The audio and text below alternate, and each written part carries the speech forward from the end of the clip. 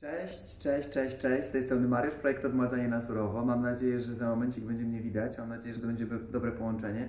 Jesteśmy dziś w jakimś tutaj Airbnb w Warszawie.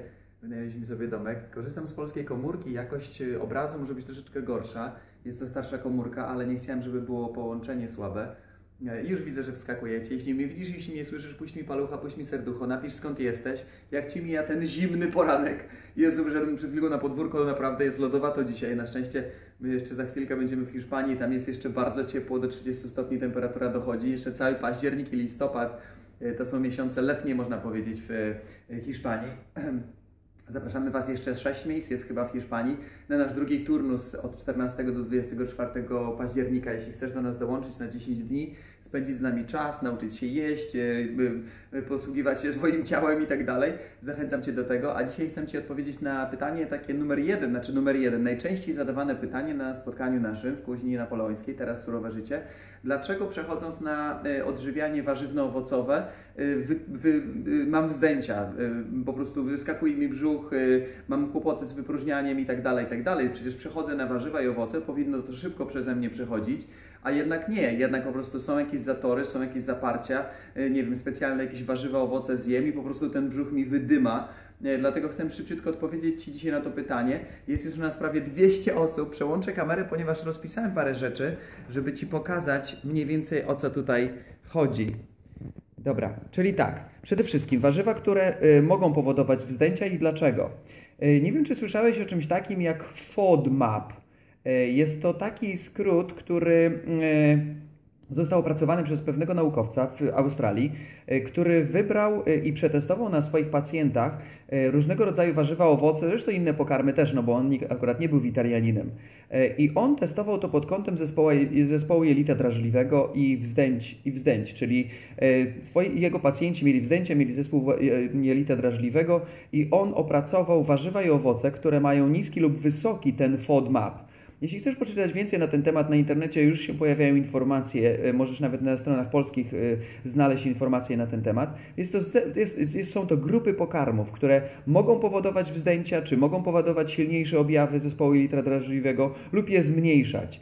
I co jedynie potrzebujesz wiedzieć, bo nie potrzebujesz się oczywiście uczyć tego, e, jak to działa i po co i dlaczego, bo on to zrobił dla nas. E, Wystarczy, że po prostu przez pierwsze, uwaga, uwaga, 6 do 8 tygodni eliminujesz te warzywa i owoce, bo ja tutaj dopisałem też owoce, które mają wysoki FODMAP. E, Czyli wystarczy, bo to nie jest takie coś, że musisz je wyeliminować już na całe życie, już nie możesz jeść tych warzyw czy owoców.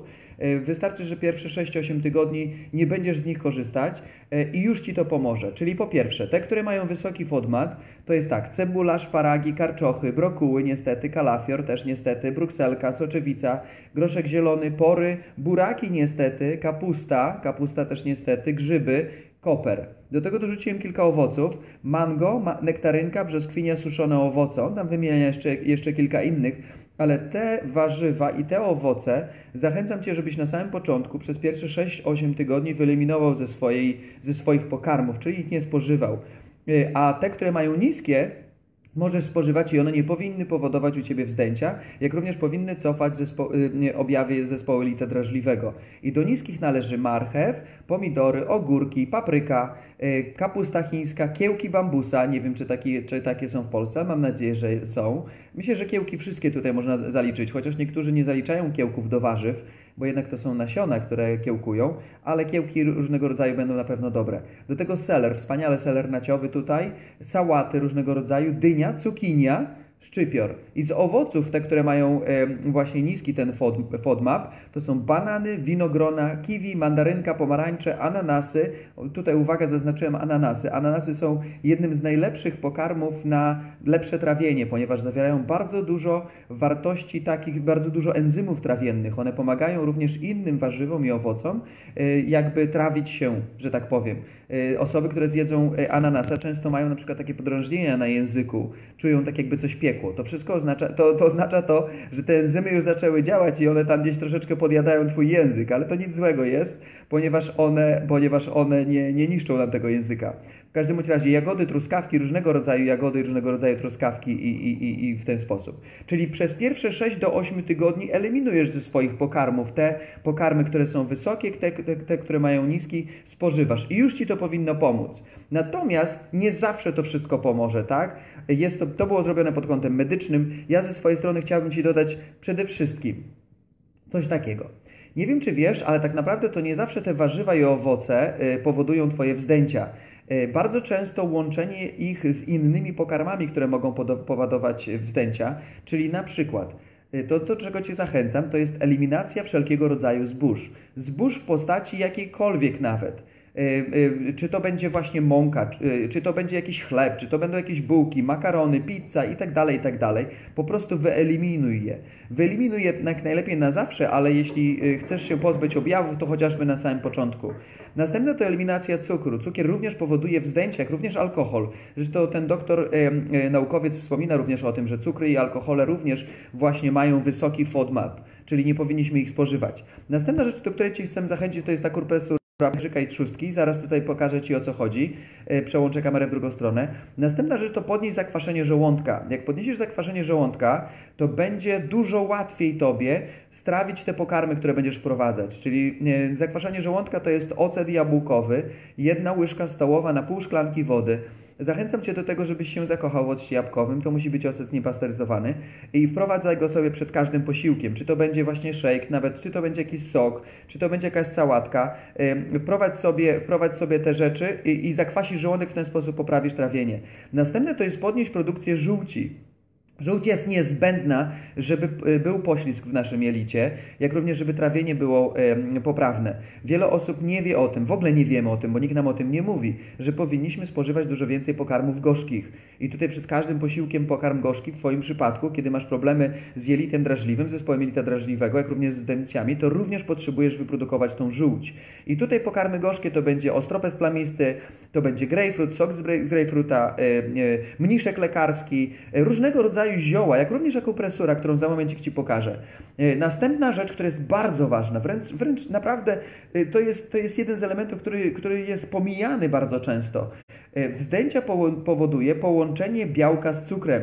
Kiedy masz połączone białko zwierzęte z cukrem, na przykład idziesz do restauracji, podają ci jakiś tam, podają ci jakiś tam obiad, a na koniec wrzucasz sobie na przykład jakiś deser albo wypijasz sobie Coca-Colę, powodujesz olbrzymie spustoszenia w swojej florze bakteryjnej, jak również w swoim właśnie wchłanianiu.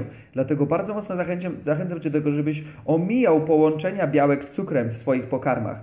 No i tutaj na koniec chciałem jeszcze dodać, żebyś oczyścił jelito, czyli zachęcamy Cię do tego, żebyś zrobił sobie miejsce na te nowe pokarmy. Bardzo często to jest tak, że nasze jelito, jelito jest zapchane i warto je oczyścić najpierw, zanim zaczniemy wprowadzać zdrowe pokarmy. No i na koniec oczywiście najważniejsza rzecz z tego wszystkiego, słuchajcie, Twoja flora bakteryjna potrzebuje czasu na odbudowę swojej kolonii. To jest tak, że nasza flora bakteryjna przez lata y, była stworzona do w jakiś sposób zamieniania tych pokarmów, które spożywaliśmy. Teraz przechodzimy na spożywanie pokarmów roślinnych i nie zawsze ta flora bakteryjna sobie z tym radzi.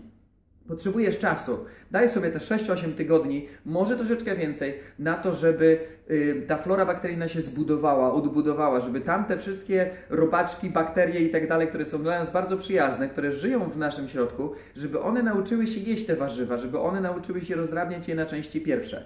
Ale teraz tak, jak, jak na przykład, nie wiem, masz wzdęcie, załóżmy zjadłeś coś dzisiaj, jutro i tak dalej, masz wzdęcie, boli Cię brzuch, to do czego Cię zachęcam? Zachęcam Cię do takiej prostej akupresury. E, weź sobie rękę prawą, weź sobie rękę prawą, trzy palce i pod żebrami, mniej więcej na tej wysokości, przytrzymaj przez 30 sekund. Tu znajduje się pęcherzyk żółciowy. Nawet jeśli nie masz pęcherzyka żółciowego, nie wiem czy to widać, nawet jeśli nie masz pęcherzyka żółciowego, jak to postawić? No tak postawię. W ten sposób. Czyli tak, Tutaj mamy mostek, obniżamy się jakieś 5 cm w dół i przechodzimy w prawo. I tutaj jest pod żebrami miejsce, gdzie znajduje się pęcherzyk żółciowy. Jeśli nawet nie masz pęcherzyka żółciowego, to też potrzebujesz to zrobić. Jak masz wzdęcie, naciśnij sobie na pęcherzyk żółciowy i przytrzymaj przez 30 sekund. Przytrzymaj przez 30 sekund, e, możesz poczuć ból, niekoniecznie musi być ból, przytrzymaj, niech to się rozluźni. Później przenieś rękę na drugą stronę i rozmasuj swoją trzustkę. Ona znajduje się jakieś 5 cm poniżej e, żeber, tutaj z tej strony. I wtedy wewnętrzną ręką naciśnij sobie na nią, przemasuj, przytrzymaj chwilkę i puść. Przemasuj, przytrzymaj chwilkę i puść. Bardzo często jest tak, że te dwa organy, które są niezbędne do tego, żeby trafić nasze pokarmy, nie pracują poprawnie. Pęcherzyk żółciowy jest zapchany na przykład i nie wystrzelił żółci, która po, potrzebuje się pojawić w jelicie.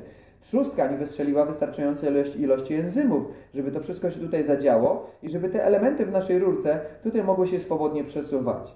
Dlatego bardzo mocno zachęcam Cię do tych paru prostych rzeczy, bardzo często nas o to pytaliście. Dajcie sobie oczywiście troszeczkę czasu. E, Przede wszystkim, co je... O, zapomniałem dodać tego na liście. Koniecznie rozmaczajcie orzechy. Jak jeśli będziecie spożywać orzechy, to koniecznie moczcie je w wodzie. Potrzebujemy się pozbyć inhibitorów wzrostu z tych orzechów. Bo jak są inhibitory wzrostu, to one też mogą powodować to, że masz wzdęcia, że masz jakieś problemy z trawieniem. Dlatego bardzo mocno Cię zachęcam do tego, żebyś spożywał te pokarmy w podobny sposób, jak my to robimy.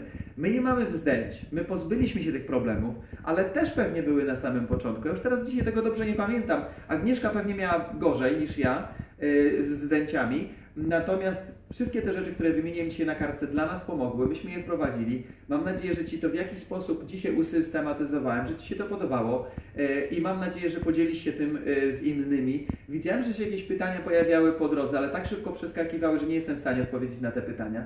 My jesteśmy dzisiaj ostatni dzień w Warszawie e, i pojutrze już wracamy do Hiszpanii i widzimy się z naszymi członkami grupy odnowy biologicznej już od następnej środy, nie możemy się doczekać. To będą cudowne wakacje, cudowny moment, kiedy będziemy mogli się z Wami podzielić we wspaniały sposób. A jeśli jesteś osobą, która chce jeszcze do nas dołączyć, to tak jak mówię, mamy 6 miejsc na drugim turnusie między 13, między 14 a 24 października. Zapraszam Cię bardzo serdecznie może, może zechcesz z tego skorzystać. Jeśli chcesz skorzystać, napisz do nas. Odpowiemy Ci, co zrobić, jak zrobić. E, tutaj, o, widzę, dlaczego bolą mnie stopy na surowym? Kochani, nie sądzę, że to jest od surowego. Myślę, że to jest coś innego. Może warto się udać do kogoś, kto zrobi akupresurę, na przykład fajną na stopach, albo zrobi drenaż limfatyczny i przesunie limfę w naszych stopach. Rozgadałem się jak zwykle, a mam nadzieję, że było to dla Ciebie, e, e, że dało Ci to dużą wartość. Jeśli oglądasz nas na Facebooku, e, koniecznie daj nam polucha, polub naszą ściankę, zaznacz, żeby te filmiki wyświetlały się na bieżąco, jak oglądasz nas na YouTubie. E, zachęcam Cię do dołączenia do naszych subskrybentów, zaznacz sobie dzwoneczek i będziesz dostawał te wiadomości na bieżąco. Do zobaczenia, trzymajcie się, życzę Wam cudownego dnia. Cześć!